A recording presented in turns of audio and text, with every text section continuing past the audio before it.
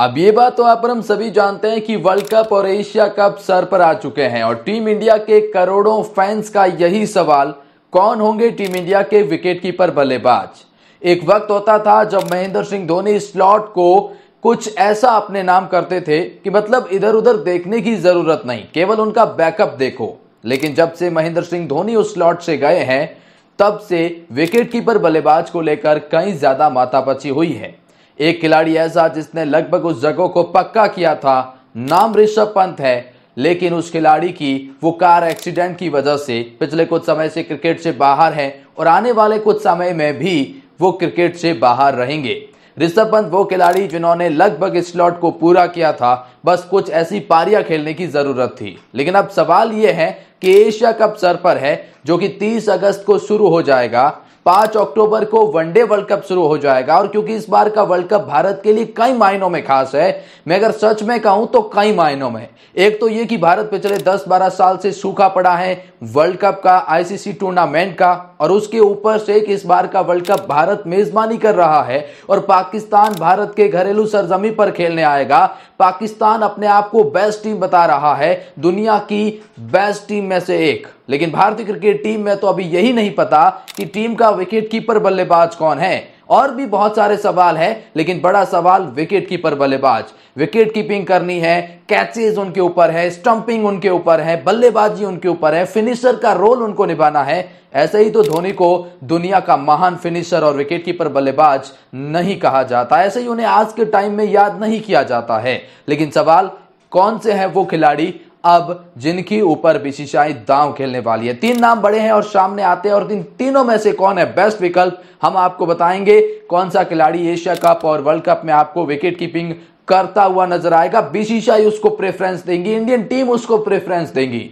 चलिए जानते हैं किन तीन खिलाड़ियों में है कॉम्पिटिशन और उसमें कौन मारेगा बाजी। इसे खास रिपोर्ट में, लेकिन आगे बढ़ने से पहले, क्या आप भी महेंद्र सिंह धोनी के फ़ैन हैं? उनको आज भी टीम में मिस करते हैं। कमेंट सेक्शन में अपनी राय ज़रूर बताइएगा। और हाँ वर्ल्ड कप के लिए विकेट कीपर बल्लेबाज एशिया कप के लिए विकेट कीपर बल्लेबाज आप किसे मानते हैं? कमेंट सेक्शन में बताएँ, लेकिन चलिए जानते हैं उन तीन खिलाड़ियों के बारे में। तो जी हाँ अपने घर पर होने वाले वर्ल्ड कप 2023 के लिए टीम इंडिया की तैयारियों पर सवाल उठ रहे हैं। और इस वर्ल्ड कप में वैसे तो टीम का कॉम्बिनेशन तैयार दिखाई देता है, लेकिन मामला दो तीन जगहों पर फंसता है और उन्हीं में से एक है विकेट कीपर बल्लेबाज को लेकर। टीम इंडिया के स्टार विकेट कीपर बल्लेबाज ऋषभ पंत पिछले कुछ महीनों से लगातार टीम से दूर है, जिन्हें पिछले साल के आखिर में कार एक्सीडेंट में गंभीर चोट लगी, जिसके बाद से वो क्रिकेट से दूर है। ये भी लगभग तय है कि पंत अक्टूबर में होने वाले वर्ल्ड कप तक फिट नहीं होंगे तो इसका मतलब एशिया कप भी नहीं खेलेंगे। ऋषभ पंत की टीम से बाहर होने पर अलग अलग विकेट कीपर आजमाए जा रहे हैं। लेकिन कोई ऐसा नाम नहीं दिख रहा है जो वर्ल्ड कप में ऋषभ पंत के रिप्लेसमेंट को पूरी तरह से पूरा कर सके।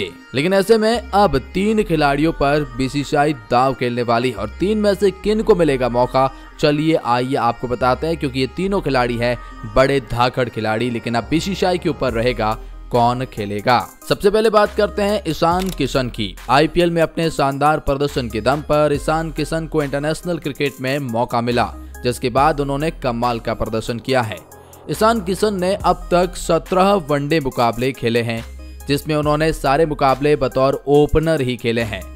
एक एडवांटेज टीम इंडिया के पास यह है कि ये लेफ़्ट हैंडेड बल्लेबाज हैं और ये विस्फोटक बल्लेबाज हैं। कद भले ही इनका छोटा हो, लेकिन शॉट बड़े लगाते हैं और जब सेटल होते हैं तो फिर किसी भी गेंदबाजी आक्रमण की ध्वजा उड़ा सकते हैं। अगर ईशान किशन के हाल ही की बात करेंगे तो वेस्टइंडीज के खिलाफ तीन मैचों की वनडे सीरीज़ में ये खेले थे, और तीनों ही वनडे मुकाबले में इन्होंने half century back to back जड़ी है। मतलब ओपनिंग पेयर के लिए, और लेफ़्ट हैंडेड बल्लेबाज के तौर पर ये टीम इंडिया के प्रबल दावेदार बतौर विकेट कीपर बन गए हैं। सवाल तो ये भी है कि इन्हें ओपनिंग के तौर पर देखा जाए या फिनिशर के तौर पर। अगर इनके ओपनिंग पेयर की पारियों की बात करें तो 16 पारियों में छियालीस की औसत से छह सौ चौरानवे रन बनाए हैं। इस दौरान उन्होंने छह फिफ्टियाँ लगाई हैं तो एक शतक भी लगाया है। उन्होंने उस शतक को दोहरे शतक में बदला था। कुल मिलाकर ये वो खिलाड़ी है जिन्होंने सबसे युवा कैरियर के अंदर दोहरा शतक लगाया है। तो मतलब कमाल के खिलाड़ी है नो डाउट विकेट कीपिंग ये कर सकते हैं, अच्छी विकेट कीपिंग करते हैं, चतुर चालाक है। तो कुल मिलाकर, ईशान किशन भारत के विकेट कीपर बल्लेबाज के प्रबल दावेदार माने जा रहे हैं। लेकिन फिर सवाल ये उठता है कि ये तो ओपनिंग करे हैं, और इन्होंने लगातार टीम इंडिया के लिए ओपनिंग ही करी है तो फिर क्या ये फिनिशर की भूमिका निभा पाएँगे? क्योंकि ओपनिंग में इनके लिए कोई जगह नहीं बनती है, रोहित और शुभमन की जगह बनती है। तो फिर इसे कहाँ इस्तेमाल किया जाएगा? That the question for team India and question about Ishan Kishan. चलिए बात करते हैं दूसरे बड़े खिलाड़ी की तो उसमें नाम संजू सैमसन का आता है। संजू का रिकॉर्ड टी में तो कुछ खास नहीं है, लेकिन वनडे में अच्छा रिकॉर्ड है। संजू सैमसन की प्रतिभा का लोहा पूरा क्रिकेट जगत मानता है। इस बल्लेबाज को टीम इंडिया में ज़्यादा मौके तो नहीं मिले थे। अब उन्हें लगातार टीम में शामिल उठने की मांग उठ रही थी। लेकिन इंटरनेशनल क्रिकेट में उन्हें अब मौके मिल रहे हैं। वेस्टइंडीज के खिलाफ इन्हें वनडे हो या टी सीरीज़ लगातार मौके मिले हैं।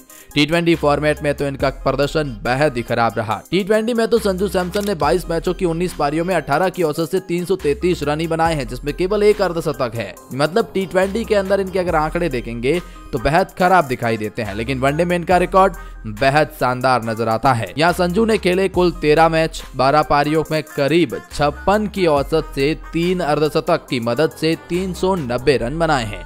संजू सैमसन पाँचवें पायदान पर बल्लेबाजी करके ही ये रन बनाए हैं। मतलब संजू ने वो भूमिका निभाई है जिसको टीम इंडिया को चाहिए। संजू वनडे फॉर्मेट में अच्छी बल्लेबाजी कर चुके हाल ही में वेस्टइंडीज के खिलाफ एक में फ्लॉप तो दूसरे में इन्होंने एक शानदार पचास हज़ार के खुद को साबित किया। तो कुल मिलाकर संजू सैमसन वनडे फॉर्मेट में अपने आंकड़ों के साथ तो न्याय कर पाए हैं। लेकिन क्या सवाल, इनको मौका मिलेगा? क्योंकि इनका हाल ही में टी ट्वेंटी परफॉर्मेंस काफ़ी खराब रहा है। लेकिन चलिए एक और खिलाड़ी की बात करते हैं जो इस रेस में मानो तो सबसे आगे हैं और वो नाम है विकेट कीपर बल्लेबाज में नाम के राहुल का आता है, जो आईपीएल के कई मौकों पर रेगुलर विकेट कीपर की भूमिका निभा चुके हैं। फ़िलहाल राहुल चोट की वजह से बाहर चल रहे थे। मीडिया रिपोर्ट के मुताबिक उनकी चोट ठीक हो गई है। बीसीसीआई ने एशिया कप और वर्ल्ड कप को उन्हें 50 ओवर की कीपिंग और 30 ओवर की लगभग बैटिंग करने के लिए कहा है। ताकि वो अपनी मैच फिटनेस साबित कर सके। इसमें कोई शक नहीं कि अगर राहुल एशिया कप में वापसी करते हैं तो बतौर विकेट कीपर बल्लेबाज ही खेलेंगे और अब उनका प्रदर्शन अच्छा रहता है तो फिर वो वर्ल्ड कप की टीम इंडिया की फ़र्स्ट वाइस विकेट कीपर के बल्लेबाज होंगे। ईशान किशन, हालाँकि पंद्रह सदस्यीय टीम का हिस्सा होंगे, उन्हें ऑप्शन विकेट कीपर के तौर पर चुना जाएगा। मतलब है कि अगर ईशान किशन को लिया जाता है तो बैकअप ओपनर और बैकअप विकेट कीपर बल्लेबाज। जो पाँचवें पायदान के भी बैकअप होंगे और जो ओपनर के भी बैकअप होंगे। लेकिन अगर के राहुल फिट है तो वो फ़र्स्ट चॉइस है और उनकी जगह पक्की है। इसमें कोई डाउट नहीं है। अब अगर के राहुल फिट नहीं होते हैं तो फिर संजू को मौका मिलेगा। सवाल इसके ऊपर एग्जैक्टली अब आपकी क्या राय है और आप किसे मौका देना चाहते हैं? कमेंट सेक्शन में अपनी राय ज़रूर बताइएगा।